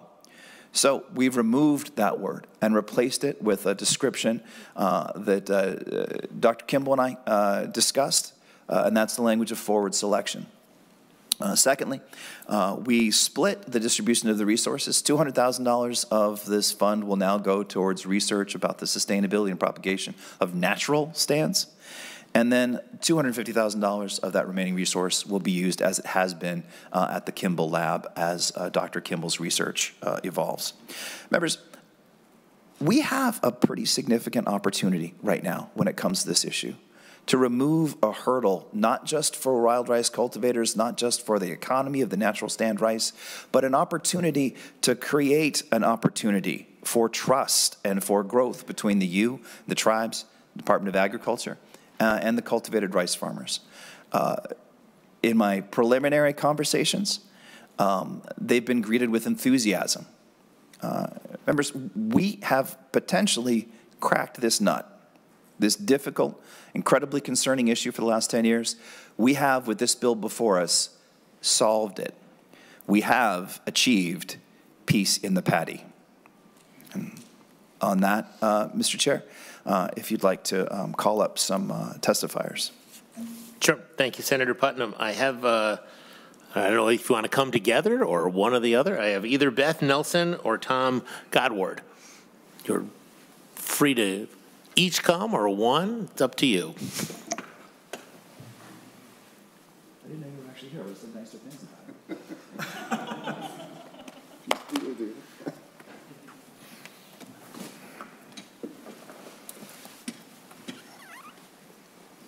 Uh, thank you so much for taking the time to listen to me. Sure, just state your name for the record and we'll Sorry. be good to go. Thomas Godward. I farm up in Aitkin, Minnesota, up north there. Uh, I'm on the Minnesota Cultivated Wild Rice Board, and uh, the board has agreed to accept this uh, proposal. And uh, we thank you kindly for your strong support to try to keep our industry alive. I don't have a lot to say, but I got to meet this guy, and he's cool, and, and I'm just a farmer. Thanks.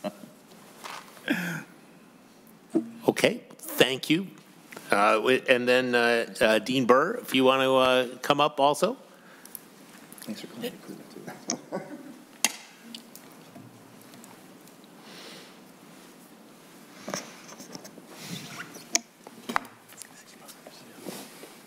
And you can just state your name for the record, and then you can begin your testimony.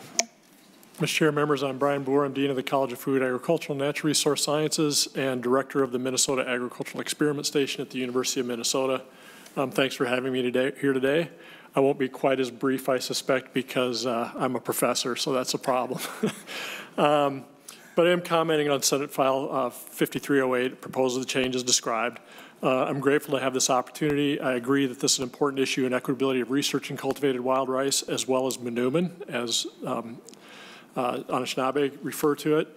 And this is an opportunity to move forward in that direction as described. Um, just some context um, that you've already had, but the cultivated wild rice research originated in 2016. Um, it is the $450,000 annual appropriation. And that was in compliance with the cultivated wild rice, with compliance with that, um, a cultivated wild rice researcher was hired in 2017. Um, since that time, the work that occurs on the research has been at the North Central Research and Outreach Center, uh, which is in Grand Rapids, Minnesota. Um, it's primarily been focused on varietal development, um, improving traits as yield, disease resistance, resiliency, um, ease of mechanized harvesting, taste and cooking characteristics, and assessments of nutrient value um, that really does benefit everyone um, as a really um, uh, terrific crop for delivering nutrition. Um, and consistent, uh, for clarity, we often get asked, uh, what are these techniques of forward selection that we're using? They are traditional um, techniques that we use. There is no genetic engineering. There is no gene modification uh, with wild rice. That's part of a Minnesota statute in existence. We do not use any of those techniques in that work. Um, and in significance, in recognition of the significance of wild rice uh, and manoomin in native culture, the University of Minnesota began and initiated several programs that include a wild rice advisory group that has University of Minnesota leaders, including myself and the vice president for research, cultivated wild rice growers, including Red Lake, and tribal representatives that varied but have included tribal chairs as well as tribal natural resource management directors. Um, we've continued our Nibi and Manoomin, uh, which is water and rice, or wild rice uh, biennial symposium uh, with tribes that originated before um, this legislation. And that's focused on conservation and preservation of both Nibi and Manoomin. Um, So we have been working to do some of this work that's being proposed here already and provide support for those efforts. Um, the, we also initiated the first tribal natural resources faculty member several years ago, and that is providing significant work across uh, agricultural and forest systems as well in collaboration with tribes. And we've been very active in native nutrition within food systems, which also ties into this, um, through our Healthy Foods, Healthy Lives uh, programs and cooperatively with the Shakopee Mdewakanton Sioux uh, community that's been a terrific partner in, in forming that. Um, the proposal for funding enables resources to fuller, further fund perhaps these kinds of activities that are already underway. So it's heading to a place that has some potential to drive real results and engagement across both the tribes as well as cultivated wild rice growers. Um, uh, the Manoomin Conservation, I, I do want to point out too that the Minnesota wild rice growers have engaged in conservation of natural stands of wild rice in addition, in, or Manoomin. Um, that cons conservation research has evaluated the biodiversity of Manoomin. That's critical in natural stands and any type of life form having greater diversity improves its sustainability, its viability. And so looking at how broad that is across Minnesota's lakes and rivers, which is really key for assuring those stands are, are sustainable. Um, the viability of seed, um, given that there are significant environmental pressures as we look at water pollution, invasive species, drainage, wetland, wet, wetland removal, shoreline development, and other things that are challenging to Manoomin in our lakes and rivers. Um, this is critical for sustainability in the environment and improves the resilience of natural stands of wild rice or Manoomin. My opinion is that this, this meant to formally fund natural preservation and health of Manoomin will further this existing work, and importantly, with direct, formal, and equitable engagement with tribes, will move this work forward in conservation in the future. Happy to answer any questions you might have. So thank you. Thank you. Members, discussion, questions? Senator James. Well, thank you, Mr. Chair and Dr. Buhr.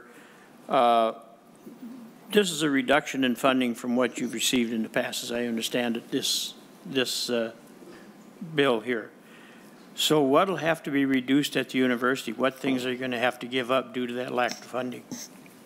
Uh, Senator Putnam. Mr. Chair, if I may just uh, briefly, um, uh, our friend Tom and our friends at the cultivators have agreed to increase their checkoff to subsidize some of that, so the gulf is not as big as it might seem. And with that, I'll defer to. to oh, oh, excuse me, Mr. Chair, but I'll, I'll, refer to Senator Putnam for my next question before I refer to Dr. Buhr. So when you say they've agreed to do that, what kind of dollars is that? So what will be the shortage after that happens? Uh, Senator I can fake it, but the experts are right there. If you, if you sure. Phone a friend. That would be great.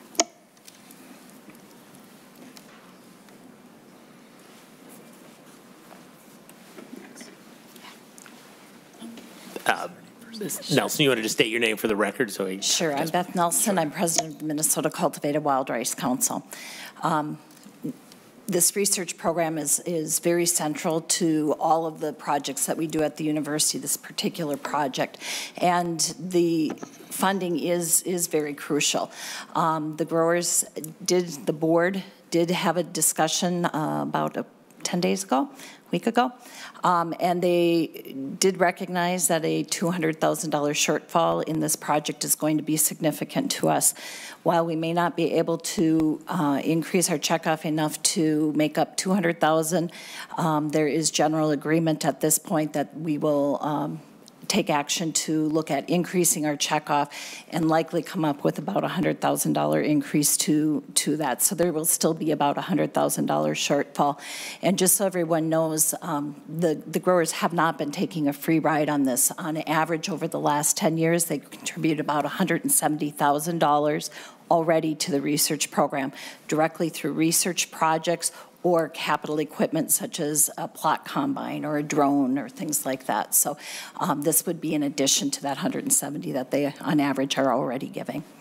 Senator Dahms. Uh, thank you, Mr. Chair, and then, and, and then Dr. Buhr. So there will be a shortage, not as much as I thought it would be, but there'll still be a shortage. Mm -hmm. So what changes will have to be made at the university to deal with that as far as this research goes? Dean Buhr. Mr. Chair, Senator Dahms. Um, one thing is the, the funding, the $250,000 will continue to support that faculty member who's doing the research. So that faculty member's work as all faculty at the university, um, we don't fully cover our costs in any program that we do. So we expect to look forward with support of Wild Rice Growers and, and also tribes as well. Um, look for funding opportunities within the people who we're working with on that. And there are opportunities, particularly as we look towards the, as I mentioned, the cultivated wild rice growers have been really supportive of conservation of wild rice. It's good for the wild rice growers. It's good for tribes. And so we'll be looking for environmental uh, sources for funding that research in lakes and river stands that goes along with um, this activity. And we think, uh, similar to some of our other programs working with tribes, there's real opportunities, and we were just talking about diversity in agriculture, to generate those funds through grants and contracts. We expect to move in that direction. And the key part is maintaining that researcher so that they can go out and, and, and direct and, and work on those grants and contracts. Um, of course, if we don't obtain those, then we do um, look at reducing that, but um, that will continue along those lines. Thank you, Dr. Byrd. Thank you, Mr. Chair. Senator Westrom.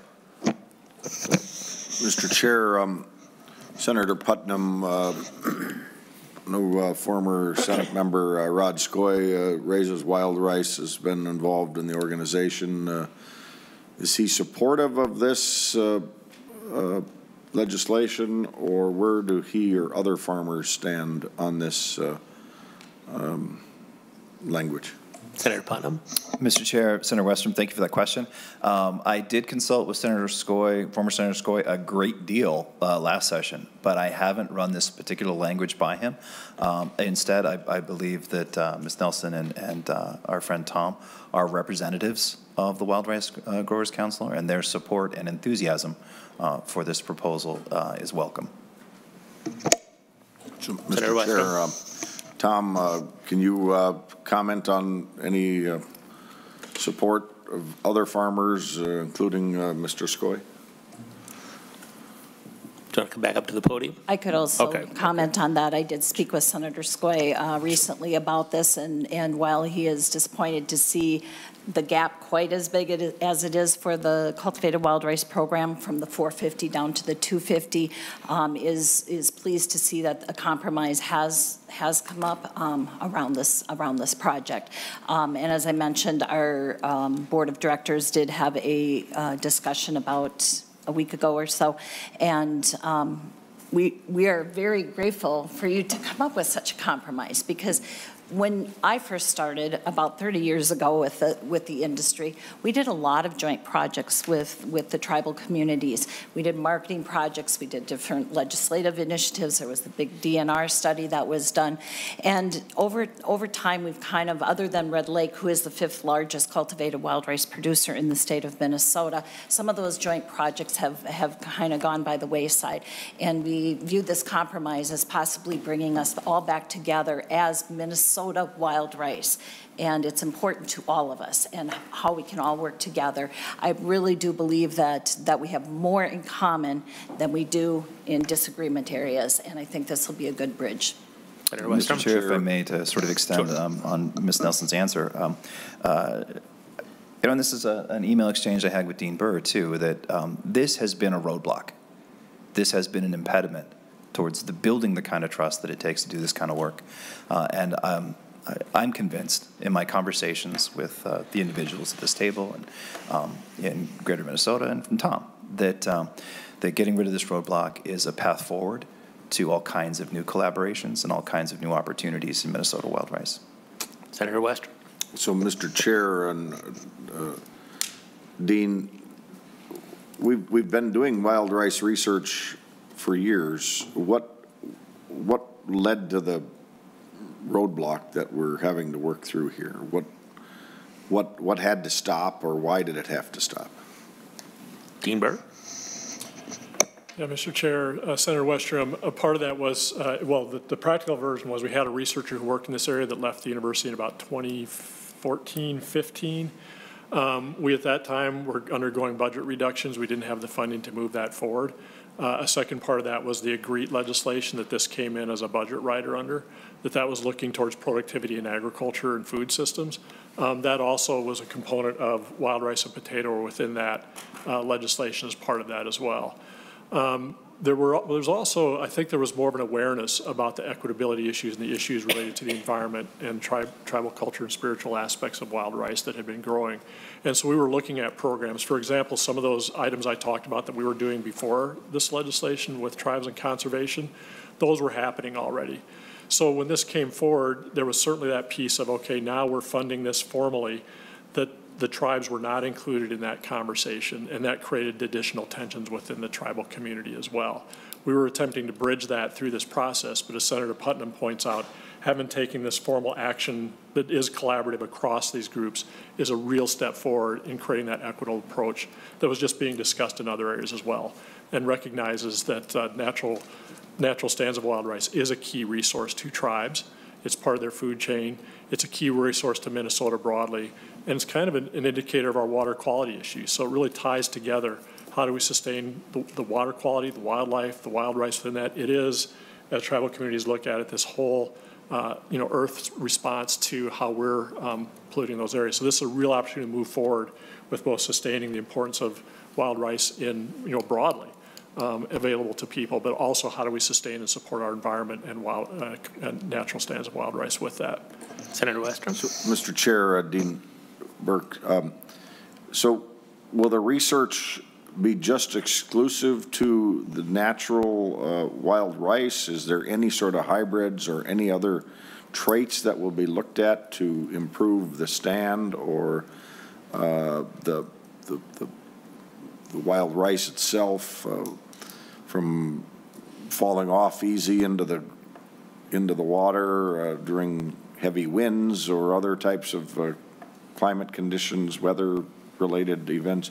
What, what kind of research are we going to all be participating in? And uh, is there going to be uh, ways to improve these hybrids so, so they may be some of the, some of the hybrids that, are, have stronger traits than, than others might be, might be uh, available to more and more farmers? Where? Sure, Senator Westrom, and I'll also um, look to Beth Nelson with Cultivated Wild, Wild Rice Growers in this, we will continue um, with the $250,000 to continue to develop um, uh, cultivated wild rice um, through, again, traditional selection. So that work will be ongoing, and those are exactly those kinds of traits you're talking about, is the, you know, the effectiveness through mechanical harvesting, looking at tr other traits with, you know, disease resistance and so on. At the same time, and what we're doing now is looking at uh, natural stands. And on the natural stands, that research, which has also been underway, um, issues of water quality, for example, are a huge issue, and that includes not just, you think about, you know, if you hear about sulfites in water and its impact on natural stands of wild rice, it also affects um, cultivated stands of rice as well. Water levels and hydrology in the state is changing, whether that's from drainage or dams. Um, raising water levels, changing water levels in lakes and rivers has impacts on natural stands. Um, development, shoreline development, um, as we see more and more people looking for that cherished Minnesota uh, lake, um, having boats and other things come under those lakes. Things like duck hunting, uh, you know, fortunately we no longer use lead shot with duck hunting, but those are aspects of natural uh, occurrences in lakes and river stands. So we look at that environmental side. In that case, we do no changes. The, the natural rice remains natural rice. We do not look at how we adapt those rice to those stands. One area that does come in, and this is with tribal ricers we'd work with, is there is some seeding of lakes to try to reestablish. We can help to, because of our knowledge with the types of wild rice, which is deep within the tribal communities from you know, historical knowledge uh, coming into that. But we can help to identify which, which varieties might, which types might thrive better in the ecosystem that's there. And it's that blending, which we do with some of our, our nutritional research, is blending tribal traditional knowledge and understanding of natural stands along with Western science to try to really advance that. Because as we hear from tribes, um, natural stands of wild rice are under extreme uh, stress now. And you can imagine with the dry years we've had, uh, with some of the climate changes, lack of snowfall this winter, lakes not freezing, that all impacts natural stands. Um, and so that's a key part. We'll be blending that knowledge across those areas. Senator Westrom, anything else? Okay. Senator Dornink? Thank you, Mr. Chair. And uh, I just wanted to thank you, Senator Putnam, for your work and for Dr. Burke and Ms. Nelson and Tom for getting this solved. What a, what a, a great uh, work that you did. Uh, but I do want to call out Tom a little bit that you're not just a farmer. Uh, I grew up on a farm, and uh, the hats you have to wear the things you do and a tribute not only to you, but the farm community and all farmers. Uh, I, I was uh, raised on the farm, so as my dad uh, taught me, and I saw all the things and all the hats and all the things that we did as a family. We had animals too, so, but those that raise crops and even the ones that were here earlier, it just you could see the passion and the love they have for raising their own food, and it's it's it's a it's a great uh, agriculture is just great. But I wanted to just, you're old enough, Tom, and I'm old enough, and remind of Paul Harvey when he did the So God Made a Farmer. I think maybe we should all listen to that tonight and just think about that and all the things that agriculture and farmers do. So thank you for being a farmer. Any other members? If not, I will also, I just want to add, I know Senator Putnam that you worked very hard on this and um, we're very excited that, that we seem to have come to some agreement. So uh, congratulations on the work and, and to your partners too, who were uh, you know, willing willing to, to, to come to this compromise. So, so thanks. Any final comments, Senator Putnam? Thank you, Mr. Chair. And, and on that front, I think it's really important that we acknowledge Senator Kunesh um, and her incredible hard work and her openness, her creativity, and her curiosity, um, and her ability to participate in all these conversations at the same time. Um, I think that, like, together we actually learned a whole lot uh, about all these different perspectives on this issue, um, and we wouldn't have come to this compromise, which I truly think is significant. We wouldn't have gotten there without Senator Kunesh, so I think uh, I, I want to personally thank her but also um, uh, acknowledge uh, the work of this committee and people who have tried to struggle with this issue in the past. But it feels pretty good because I think we took care of it. Okay, and with that then, uh, Senate File 5308 is laid over for possible inclusion, and we have one more bill. Senator Dornink, you're next.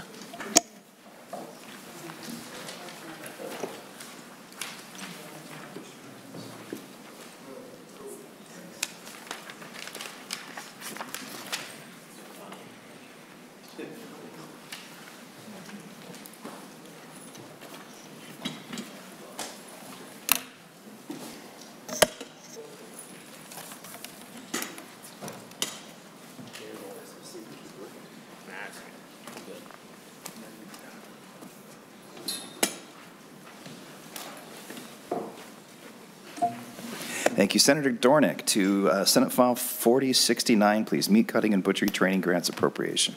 When you're ready, Mr. Senator. Thank you, Mr. Chair. And I think 10 minutes will be good for this, but we'll find out. We'll see how it goes. So, uh, Senate File 4069 appropriates $375,000 from the general fund to provide grants to secondary career and technical education programs for the purpose of offering instruction in meat cutting and butchery. This is a one-time appropriation.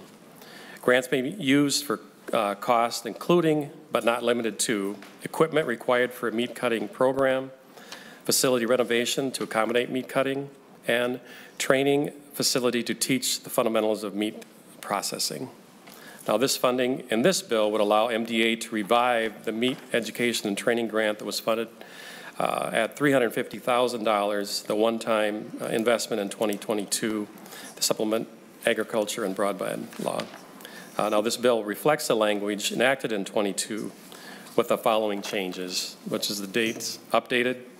They increased the total appropriation to 375,000 to accommodate the unfunded grants requested, uh, increased the maximum grant to 75,000 uh, partially account for the inflation and formatting a change to improve the readability and technical changes as suggested uh, by the reviser and I have two testifiers, uh, Eric Swatsky, Minnesota Association of Agriculture Educators, I believe he's online, and then also Lauren Dower from the Farm Bureau. Thank you very much, Senator Dornink. So our first testifier is a friend of the committee, Eric Sawatsky. Mr. Sawatsky, if you would please uh, unmute your microphone, turn on your camera, state your full name for the record, and commence your testimony when you're ready. Can you see me, Chair Putnam? Yep, you're good. You look great. Thank you. Uh, good afternoon, yeah, Chair Putnam and members of the committee. My name is Eric Swatsky. I'm an ag ed educator at West Central Area Schools, which is located in Barrett.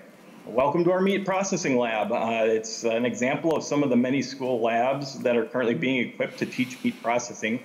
Although our trailer was purchased with a USDA grant, our school did receive a meat education and training grant from the Minnesota Department of Ag uh, which we use to install a backup generator and our potable water and septic connections to get the lab up and running. So this 36-foot trailer has all stainless steel working spaces. I don't know if you can see, but a three-bay sink, two hand washing stations, a meat grinder, a mixer, stuff, uh, stuffer, uh, and its own freezer. Tomorrow, this trailer is actually going to be inspected by our local MDA meat inspector, and we have secured a wholesaler that'll be ready to ship boxed beef, pork, chicken, and definitely turkey directly to our school.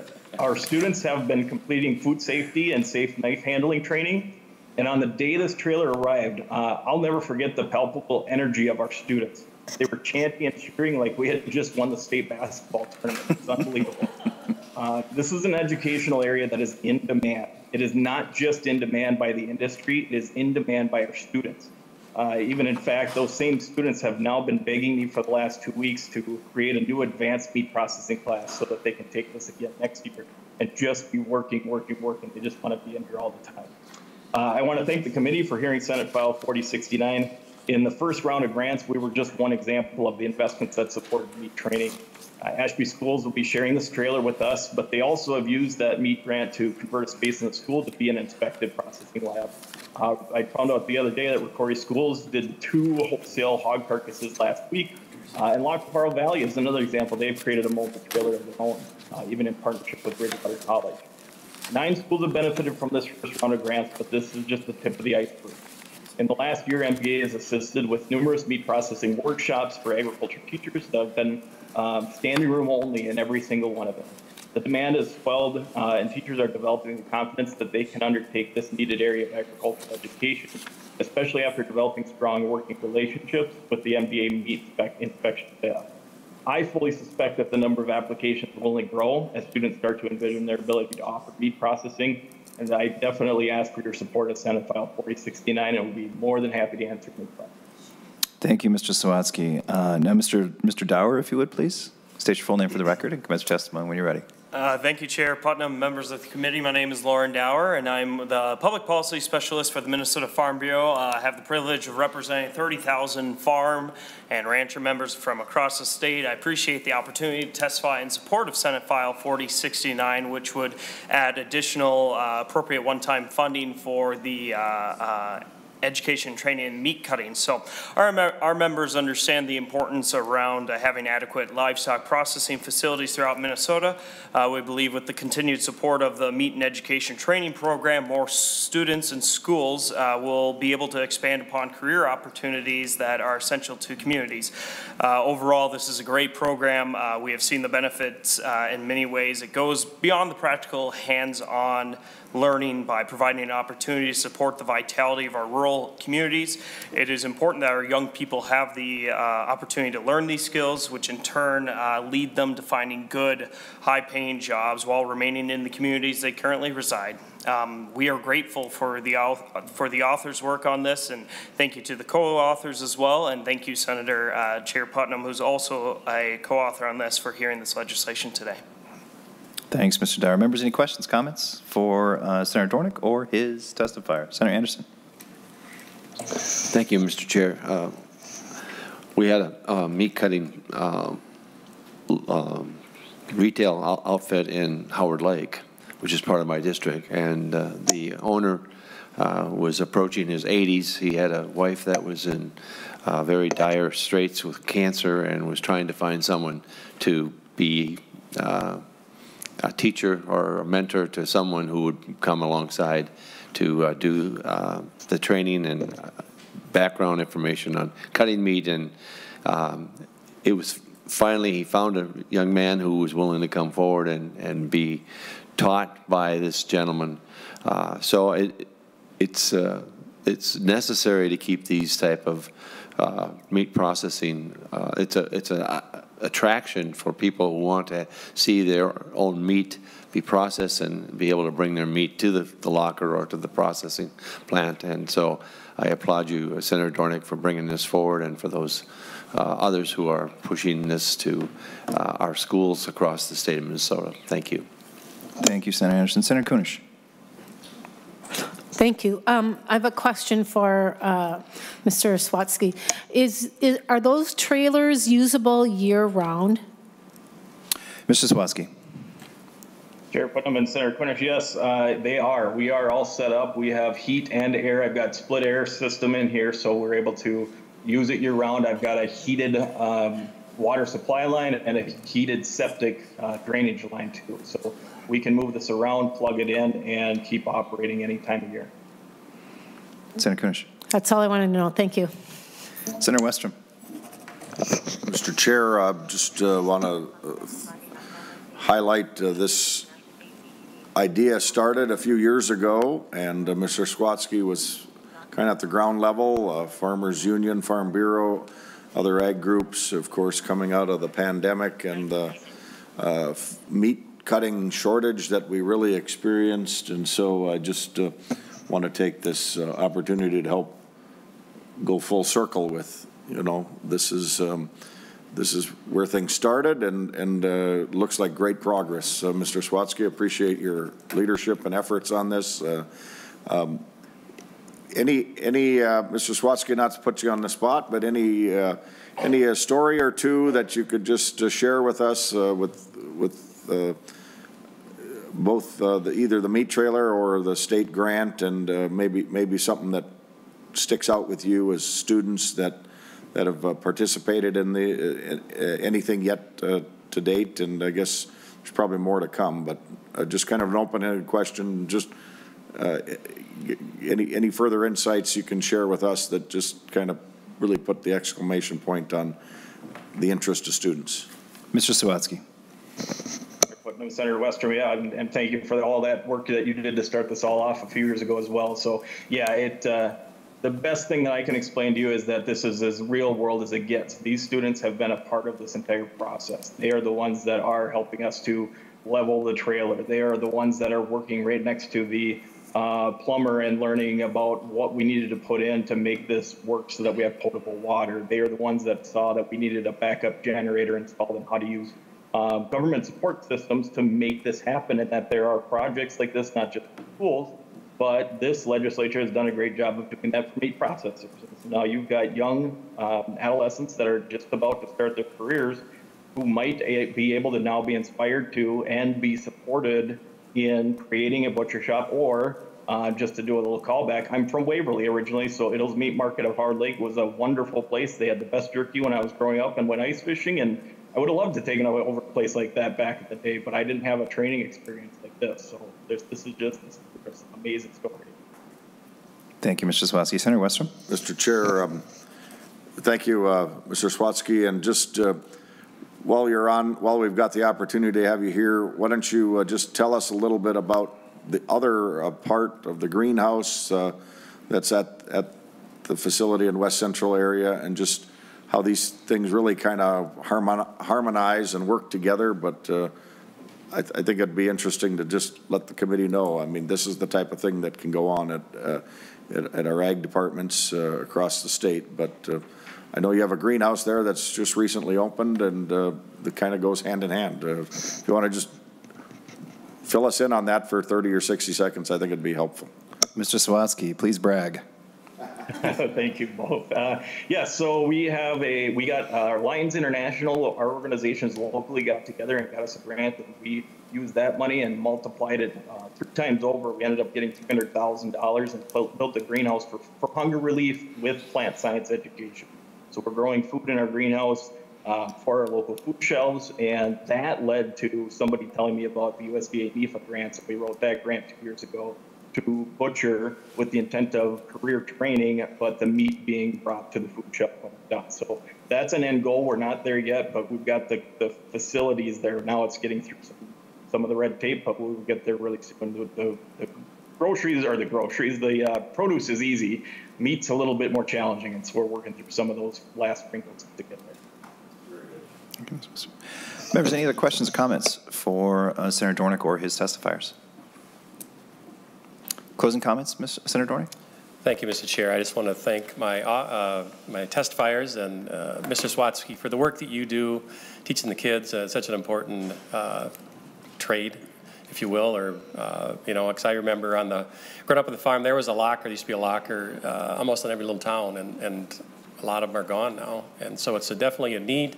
So thank you for your work. And to my other testifier, Mr. Dower, thank you, and also to my co-authors, Senator Westrom, Senator Dahms, Senator Anderson, and uh, you, Mr. Chair. Thank you for co-authoring and for hearing the bill. Thank you, Senator Nordhook, for your, for your work on this issue. Um, uh, I'll say again, I'm, I'm really glad that you brought this to us, and I'm eager to support it. Thank you.